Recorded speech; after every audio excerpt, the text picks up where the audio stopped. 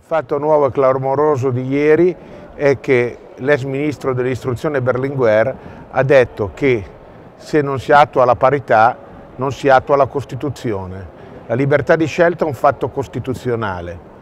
Questo è un passaggio fondamentale nella storia recente politica perché significa che la battaglia per la parità non è dei cattolici ma di tutti. Il più autorevole ministro eh, della pubblica istruzione del dopoguerra che ha fatto la legge sulla parità e l'istruzione di eh, origine comunista si batte per la parità.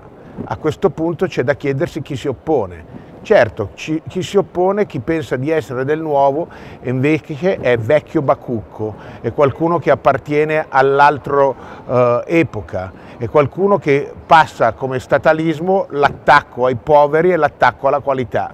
Ognuno di noi deve eh, prendere posizione e decidere di attuare questa rivoluzione pacifica e silenziosa che porterebbe l'Italia a una migliore scuola e quindi a un migliore sviluppo. Chi è contro è un uomo del passato.